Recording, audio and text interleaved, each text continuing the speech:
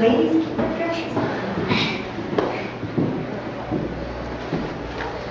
Hello. Are you excited to paint? Hello. Can you Show me curtsy? how Can you you curtsy for me? Thank you. Is your apron okay? It's a little crooked, but.